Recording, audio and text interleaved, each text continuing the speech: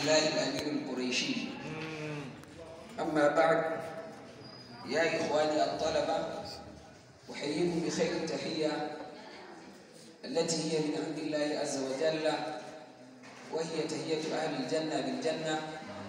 أولها سلامة ووصلها رحمة وآخرها بركة.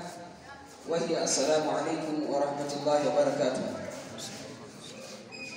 أنا المقالة أو الخطبة الذي سوف أقدم لكم حول الحديث النبي صلى الله عليه وسلم الشريف التي فيها العجائب والآداب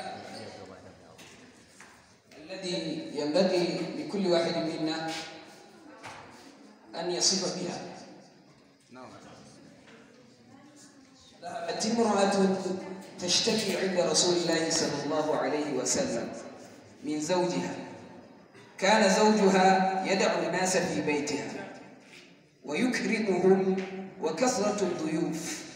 سبب لها المشقة والتعب فخرجت من عند رسول الله صلى الله عليه وسلم ولم تجد الجواب منه.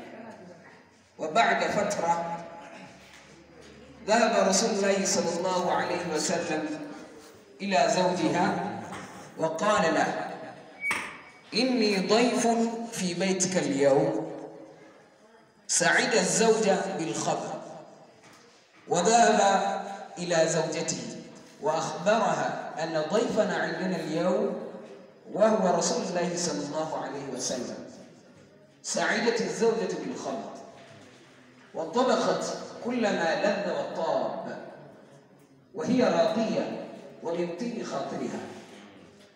وعندما ذهب رسول الله صلى الله عليه وسلم إليه ونال كرمه ورضي الزوجة قال للزوج عندما أخرج من بيتك دع زوجتك تنظر إلى الباب الذي أخرج منه. ونظرت الزوجة إلى رسول الله صلى الله عليه وسلم وهو يخرج من بيته.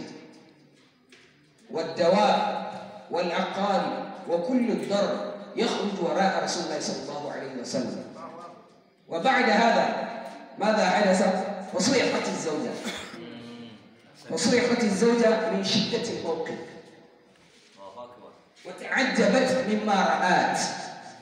فقال له فقال لها رسول الله صلى الله عليه وسلم هكذا دائما عندما يخرج الضيف من بيتك. يخرج كل البلاء والضرر والدواء من منزلك.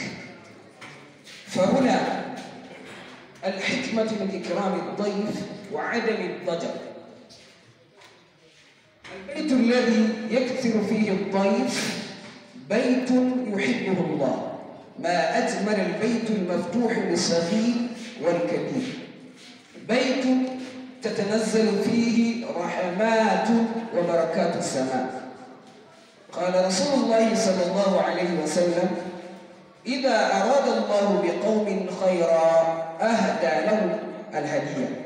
قالوا وما تلك الهدية؟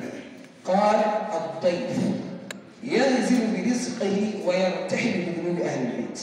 الله أكبر.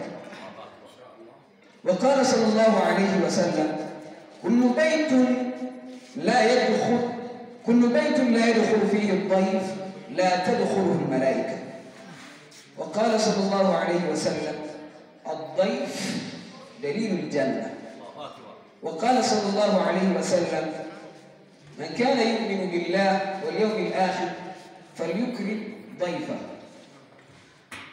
إذا أعجبك هذه المقالة وقناة التقى صل على سيدنا محمد وآله وسلم.